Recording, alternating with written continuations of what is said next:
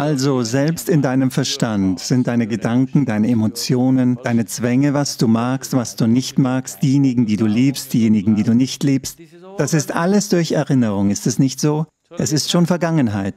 Gestern hast du jemanden geliebt. Mit dieser Erinnerung liebst du heute. Gestern hast du jemanden nicht gemocht. Mit dieser Erinnerung liebst du heute. Also versuchst du das zu leben, was vorbei ist. Wenn du versuchst, das zu leben, was vorbei ist, dann wird das, was ist, an dir vorbeigehen. Also Yoga heißt, dich zu befreien von dieser Information, die bestimmt, wer ich jetzt gerade bin. Diese Information, welche die Farbe meiner Haut bestimmt, diese Information, welche die Form meines Körpers bestimmt, diese Informationen sollten nicht bestimmen, wie ich denke, wie ich fühle, wie ich mein Leben erfahre. Aber unglücklicherweise macht es das. Also wenn du so wirst, dass diese Informationen nicht mehr bestimmen, wie du gerade bist, dann bewegst du dich in Yoga. Also täglich daran arbeiten, täglich morgendliches Sadhana ist nur das, um langsam, stetig einen Abstand zu diesen Informationen zu schaffen. Du musst sie nicht verlieren. Leute sagen, ich will vergessen. Wenn du vergisst, wirst du dieselben idiotischen Sachen immer wieder machen. Vergesse niemals.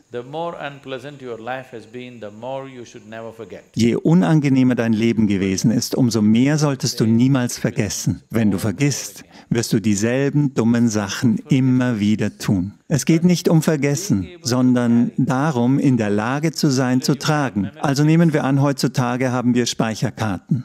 Wenn die Karte die ganze Zeit eingesteckt ist und läuft, wirst du verrückt werden. Du kannst sie in deiner Tasche tragen, kein Problem. Wenn du willst, schließt du es an deinen Computer an, andernfalls steckst du es in deine Tasche. Das ist gut. Kein Problem. Erinnerung ist immer noch da, arbeitet aber nicht zwanghaft durch dich. Wenn du willst, kannst du es bewusst aktivieren, andernfalls liegt es einfach dort.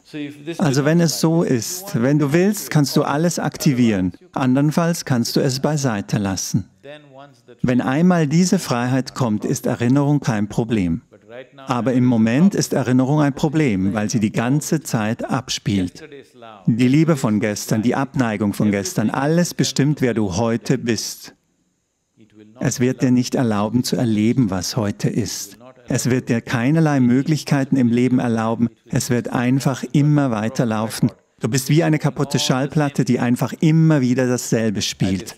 Ich mag diese Person nicht, ich mag diese Person nicht, ich mag diese Person nicht. Nur gestern mochtest du ihn nicht. Heute ist es nicht notwendig, ihn nicht zu mögen. Gestern hat er etwas getan, wir mochten ihn nicht. Es ist nicht nötig, ihn heute nicht zu mögen. Aber die Erinnerung spielt ab und sagt, ich mag ihn nicht, ich mag ihn nicht.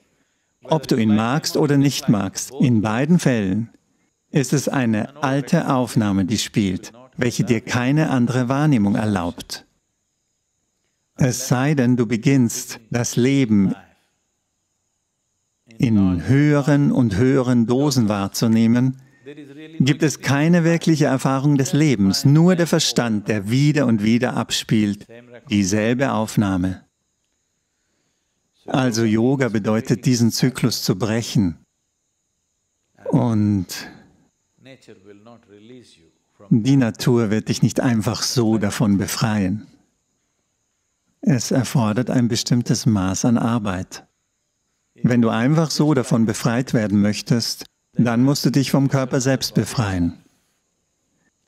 Im Körper selbst zu sein, welcher ist, wie er ist, nur aufgrund seines Erinnerungsvermögens und nicht mehr ein Teil dieser Erinnerung zu sein, es sind die Grundbausteine der Informationen, die wir tragen, die diesen Körper so konstruiert haben, wie er ist. In ihm zu leben und nicht er zu sein, wird nicht einfach so kommen. Ich sage nicht, es ist schwer, aber es muss daran gearbeitet werden. Sadhana ist nur dafür, wie einfach das Sadhana auch sein mag, wenn jeden Tag daran gearbeitet wird, langsam kann man sehen, wie ein gewisses Maß an Freiheit in einem auftritt, Schritt für Schritt. Vielleicht Zentimeter um Zentimeter, vielleicht Mikromillimeter um Mikromillimeter.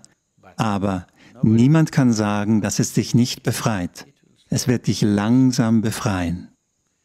Wenn du rapide vorankommen willst, ist sehr viel mehr zu tun. Wenn es dir nichts ausmacht, langsam voranzukommen, ist etwas zu tun. Also morgen früh Sadhana.